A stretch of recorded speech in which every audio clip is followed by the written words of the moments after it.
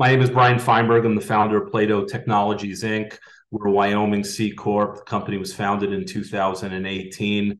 Uh, I started my journey in the blockchain in 2014, but my experience with Ledger Technologies go back to 2008, uh, where I built a, a number of uh, analytic applications for publicly traded filers using something called XBRL.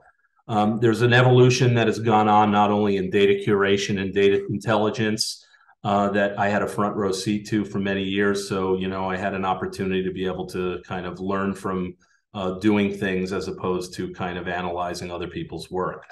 Um, so, Plato, we set out to as a response to the security vulnerabilities, primarily in blockchain uh, websites in 2017. Um, and we set out to kind of build a Web3 Bloomberg that was curating data intelligence in a highly authentic and vertical way. So, as we started to build not only our methodologies, but our frameworks, we started a beta, and that beta was launched in April of 2020. We uh, not only came to the realization, but uh, the necessity of being able to kind of take the technology that we had been building for about a year and a half and take it against the backdrop of real world dynamics. Um, so we've had uh, 9.95 million users organically walk through the doors since we started. Um, the reason they have found us is kind of the way that we interface with other search engines. And the fact is that we index and we translate and we index all our content and all our information across 27 languages creating very much an authentic experience, especially to those people that are on the other side that are looking for um, um, content and uh, information in their own native languages. So we built Plato essentially as uh, a way to be able to um, make industry data your ally. Um, we all move in extremely fast markets. Technology is moving fast. Capital markets are moving fast. And frankly, we have to go to many different sources of um, of places to consume that information. So we set out to be able to build competitive intelligence to help primarily and inspire the next generation of startups that are kind of coming out with innovation across those marketplaces. Part of that is um, our you know our future look at the company, which again a lot of this is already built into our our custom frameworks, but it's a web browser, a search engine, and a gateway to securely connect to any Web3 application that we've provisioned. Uh, we're very, very uh, strong advocates of censorship uh, free environments. So we're not playing edit, edit, editor here, right? In terms of content, we're kind of going to vetted sources and curating that intelligence. This is a little side cut of some of the enterprises that have been through our doors. So we've had 70,000 enterprises um, over 200 countries represented, and we do have a very much a global system that we've identified, uh, we've built.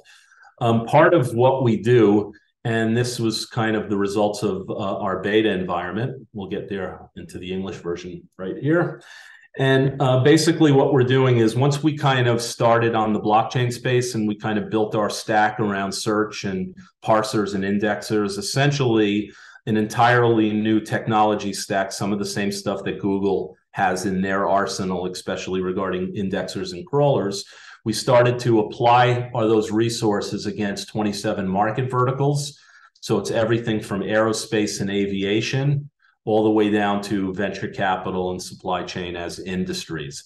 And what's unique about the way that we are kind of curating our content is that a we deliver this information in an ad-free environment. We're doing hashtag extraction and we're also doing indexing on the fly. So because we've been two and a half years of and by the way this is our own advertising. Um, this is for our own products but this is kind of an example of some of the you know the way that we do hashtag extraction against local languages that kind of create and spawn traffic. To support all that data is our analytic system, and we're looking at here from September 16th, 2021. Um, Google Search Console doesn't allow us to go farther back there, but we create organic impressions that generate a click through rate. And if we look at the countries, you can see here that we have a very, very global footprint of users that are coming in not only on a daily basis, but are, are coming in time and time again. So places like Iran, um, you know, it's an interesting environment because we're indexing and curating our information in Parsi. That includes our defense feeds, which are also going in Arabic and also going into Hebrew. So we're kind and Chinese for that matter. So we're taking this information and we're organizing it.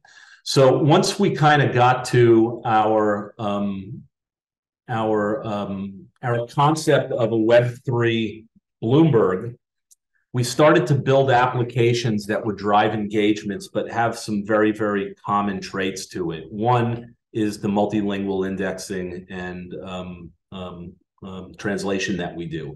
Further, we started to build um, we started to build an ontology around curating information from vetted sources. So it wasn't only a qualitative approach, it was really a quantitative approach. How much content were they producing and how structured was that content? So we built a mediation layer that allowed us to be able to take this information, index it, publish it globally across our system, and at the same time create backlink attribution and hashtag extraction around the content side. That led to us building a vertical search engine that allows us to be able to search information from within the vertical and drive people over to very, very specific, I would say, pockets of information that is on our directory that kind of drives uh, a global, uh, I would say, an authentic experience. So here in this search of Cardano, we're taking people to applications that are within the Cardano ecosystem delivered through our, our browser. Further, as we, you know, again, we're about engagement and we're about knowledge transfer and we're about helping inspire this next generation of thought leaders is we are curating data intelligence through voice to text and then text translation environment. So we create 15 minute podcasts three times a day that's pulling the snippets of the highest consumed information in our system and really giving somebody 15 minutes worth of very, very concentrated news and information that they can multitask. What does get interesting about our system now is our browser hook and our Web3 browser, as you can see here. We've built a taxonomy in the block. Of course, this is blockchain now we're talking about, but we're not really limited to just blockchain here. But we've kind of created a taxonomy through um, uh, the various sub verticals of the industry, right? So I'm interested in wallets or I'm interested in DEX. I'm doing research. I want to see what's out there rather than going to Google all the time and just kind of get inundated with advertising and content. We drive users to applications that have already been pre vetted. So as I connect here to this application, it's already identifying the fact that I need to switch networks. Okay. Uh, and again, we we we are using the provisions that are set up by the application and now you can see here my Ethereum wallet is connected. I disconnect just to show you the example. We're using the provisions that are set up inside the application to connect, transact, engage, vote, and kind of move around the industry in a, in a highly secure and private way. So any of the information that is being extracted on our side has nothing to do with any of these transactions. We're not acting as a custodian. We really don't even know what users are connecting to. We only know that they came in on a particular landing page or a, a, a landing page inside our environment. So we've done this to about 2,000 dApps right now. So you can go anywhere in our system and discover things. And I think the art of discovery, again, is undervalued. We don't know what's going to resonate with us until we actually get in front of it. Um, part of this is um, creating a showcase for innovation. And that showcase is there to be able to kind of drive not only product awareness, but product adoption also. As commercial adoption, we think of Web3 as much more than just this concept of a metaverse right now. It's not just the gaming, uh, but there is infrastructure in place that needs to be built on a solid Web3 decentralized backend that allows these applications to be able to not only connect with each other, but for people to connect with them. Um, we're not a token. We're raising capital in an equity situation. Um, we've kind of bootstrapped it up until now, but you know we uh, you know adhere to uh, what we think is the the highest levels of transparency, especially across our financing as well as our cap table. In order to build sustainability, we really believe that there has to be a partnership between us and our stakeholders as well as us and our community and understanding kind of what communities are looking for at the end of the day and really to kind of deliver that in the form of kind of applications that we plug into our um, into our system. Further, we're curating pricing uh, on every single crypto that's out there, as well as every single public company that's out there. Currently, for this uh, example, these dashboards that we've created are taking information from Edgar's system.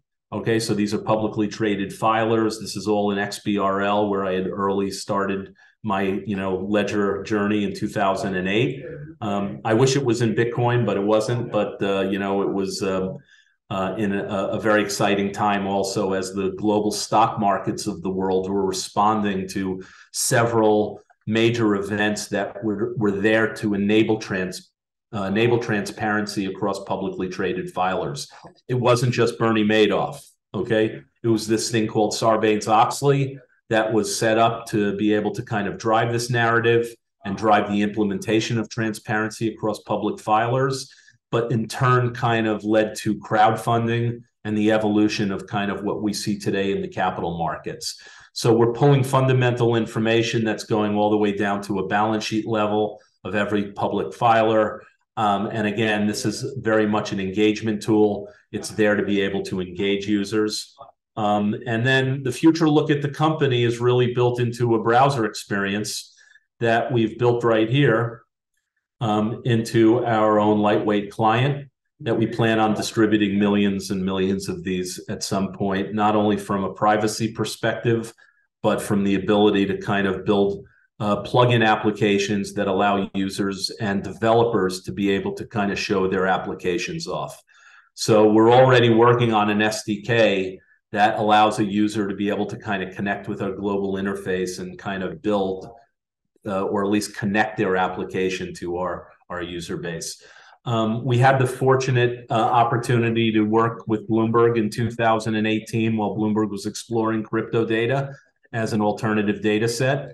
And, you know, um, in that process, not only did we realize that we didn't have enough money to work with Bloomberg, it's very expensive, uh, you know, and a legal process there, but we had an opportunity to be able to kind of reverse engineer that the connection point that Bloomberg uses with their Connect system that's used through a centralized environment. In our approach, it was all about decentralization and how to be able to kind of cr- create a unifying layer to be able to connect users with the latest in innovation. Um, that's it. If you have any questions, I'm uh, here to answer them. Yeah, that's awesome. Um, talk to me a little bit so that we have it for uh, the, the judges. Talk to me a little bit about um, your raise that you're doing, um, whether you've raised anything yet, uh, whether this is the first raise or not, um, you know, that kind of stuff. Yeah, so we bootstrapped the company. I seeded the company. I have uh, probably close to about six hundred thousand dollars of my own capital in here. Um, we are raising three million dollars uh, at a twelve million dollar pre money. Uh, we started to test revenue over the last year. We did $276,000 in testing revenue, acquired over 500 clients, and averaged over $690 per paying user last year, which gives us a very nice, uh, you know, um, supplement to our financial forecasting that's based under a conversion model. So it's a simple SaaS product, even though we're calling it DaaS, data as a service, especially in terms of our future product and the browser uh, the ability to kind of turn data streams on and off as per uh, in building your own user dashboard in this experience around the industry that I like. So uh, the industry you like. So um, again, technically we're in a seed round still. Um, we're looking for um, you know not only an investor but a strategic investor that kind of come in and buy in not only into our vision uh, but you know help with uh, you know driving our convergence with other networks um, we built a low cost product that we think um, enterprises can value, especially in enterprise wide licensing, where we can pick up a thousand to two thousand licensing uh, licenses at a top. And again, we're strong advocates of being able to build these vertical um, uh, data dashboards that really speak in, with authenticity to the markets that they represent.